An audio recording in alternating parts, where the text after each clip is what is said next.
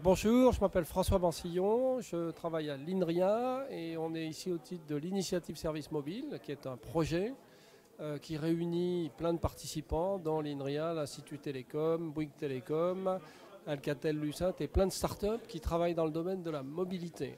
Ce qui nous a intéressé dans euh, l'événement du POG, euh, c'était euh, cette dynamique qu'il y a autour d'Android et du développement d'applications mobiles et l'idée de pouvoir soutenir ces applications mobiles en fournissant des données ouvertes qui permettent de les développer. On a travaillé avec un certain nombre de gens, dont Data Publica qui a fourni des données mobiles très intéressantes et une API pour accéder à ces données.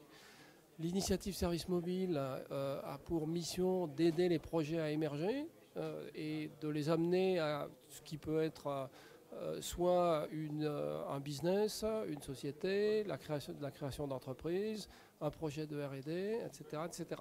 Donc on est très fanat de tout ça, on a vu des beaux projets, on espère que certains ont du sens et on est tout à fait disponible pour les aider à émerger en les transformant en une idée d'un week-end euh, à quelque chose qui peut être pérenne euh, avec un modèle économique euh, en l'enrichissant et en le faisant réussir. Voilà un petit peu le message.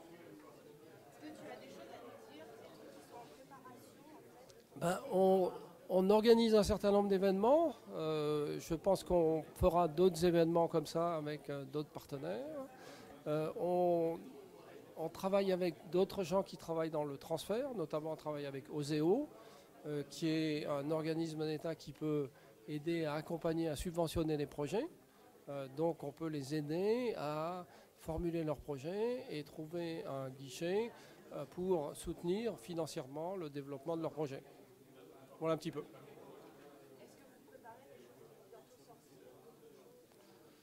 on, on, on, va faire un certain nombre d'événements qui auront du sens pour les gens qui sont ici.